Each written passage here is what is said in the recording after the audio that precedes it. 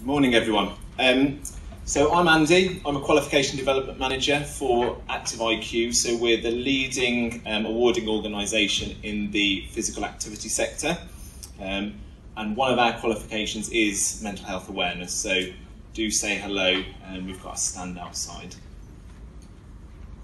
Okay, so I'm going to be talking about mental health, stigma, and discrimination in the workplace. So I'm going to talk quite generally about stigma and discrimination, but a lot of it can apply to the workplace. So I'm going to particularly focus on kind of a workplace culture that might be stigmatizing, the language used, so it might be kind of casual language that may make someone with a mental health problem feel further stigmatized, feel devalued. Okay, um, so that can lead to fear in the workplace, not wanting to talk about mental health problems. So what I'd like to do when I'm going through various parts of the presentation, think if you had a mental health problem, or if you do have a mental health problem, or one of your colleagues does, how would you feel in these circumstances? Would it make you want to approach your line manager about a mental health problem?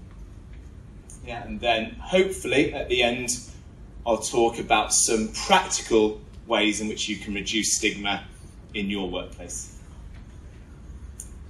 Okay, so hopefully our video will work. So this is just to set the scene a little bit.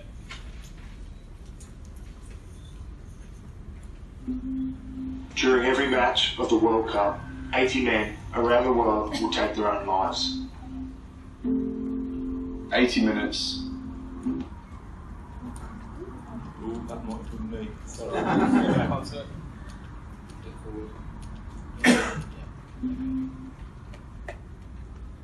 During every match of the World Cup, 80 men around the world will take their own lives. 80 minutes. 80 men. 40 men will kill themselves in the first half. and the same man will die by suicide in the second half. By the final whistle, 80 males will have chosen to end it all. A major reason for this is that us men don't always talk about the tough stuff. So this halftime, don't open social media, don't go to the bar own, talk to your mate for the full 15 minutes. This halftime, be a man of more words.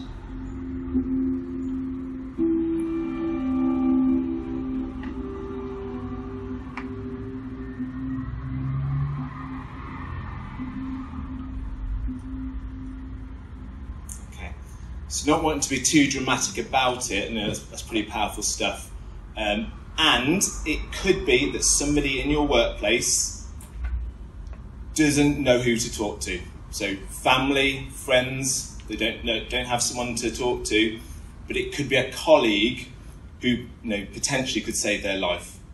Um, in this country, um, suicides have increased again this year, so it's about six and a half thousand. 75% of them are men. So the reason someone has a mental health problem is quite complex. You know, it could be a biological reason, it could be trauma. But in terms of helping someone, talking about it is probably you know, one of the biggest ways to, to overcome the problem and, and save someone's life potentially. So just kind of bear that in mind. You could be saving someone's life. So where does stigma come from? So the media certainly doesn't help. It didn't take me long to find some headlines which are stigmatising, that are making people with mental health problems seen as inferior. So the madman in the cockpit, um, so the, the German pilot who, who crashed his plane, killing hundreds of people, happened to have depression. Is it necessary to use the word madman? Is it necessary to use terms like schizophrenic, bonkers? The term schizophrenic, that is, is it necessary? I don't know. So the madman in the cockpit, do people with depression, are they able to carry out jobs like this, high pressure roles? If you were someone with depression, you read this story, would you want to tell your manager that you had depression? Possibly not. Um, 1,200 killed by mental patients. Sensational headline. doesn't quite explain the, uh, the nature of the story. It was over a 10 year period. It was due to lack of support within the health system. But looking at those headlines, it's not good, is it? None of those stories are particularly um, positive about mental health. So, one research study found that when reporting on mental health, 50% of the stories were negative using language like that. It doesn't encourage people to talk about their problems. And it could be in your workplace, there's a, a newspaper on the desk with a headline like that.